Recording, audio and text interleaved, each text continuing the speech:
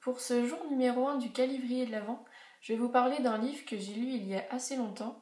Il s'agit de Lignes de vie, écrit par Samantha Bailey.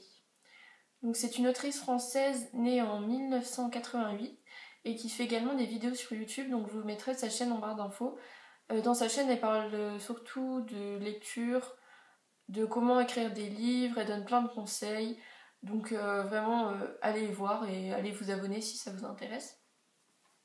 Donc c'est un roman épistolaire qui est sorti en 2010 aux éditions de La Volpillière. Il est assez court, seulement 112 pages et il s'écrit assez gros, ce qui en fait un livre vraiment super facile à lire pour tout le monde.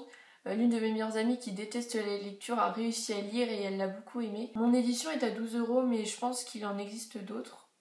Donc euh, j'essaierai de trouver des liens sur internet sur où les acheter. Ce livre raconte l'histoire de Antoine et Gabriel qui vont se rencontrer de manière assez fortuite.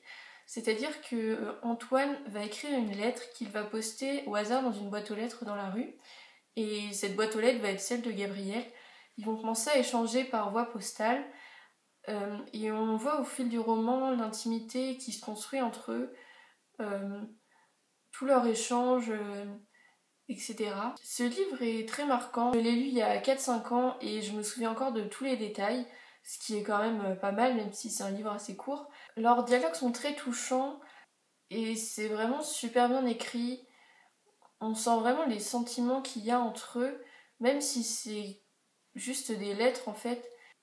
Il est plutôt, il est bien. Euh, mon édition elle coûte 12 euros, mais je pense qu'il est sorti en poche. Enfin, je suis pas sûre du tout, mais allez voir, je ne sais pas.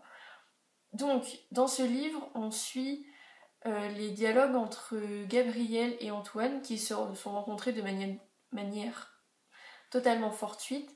C'est-à-dire que Antoine a écrit une lettre qu'il a postée dans une boîte aux lettres au hasard et c'est Gabriel qui l'a reçue. Donc euh, tout au long du livre, on assiste à l'intimité qui grandit entre eux, à vraiment euh, l'amitié qui se construit, à une relation vraiment super réaliste et super intéressante est vraiment marquante parce que même euh, je l'ai lu il y a 4-5 ans et je me souviens encore de tous les détails. Donc c'est vraiment un, très bon livre. Et Samantha Bailey a écrit plein plein d'autres livres, donc si vous aimez celui-là, vous avez plein de lectures qui vous attendent. Euh, j'espère que vous avez aimé cette vidéo, en tout cas merci de l'avoir regardée. C'est normalement la première d'une série de 24 vidéos, euh, si j'arrive à tenir le rythme, ce qui n'est pas du tout sûr, mais j'espère. Donc euh, bah, bonne journée, bonne soirée, bonne matinée, je ne sais pas, bonne nuit. Et au revoir et à demain.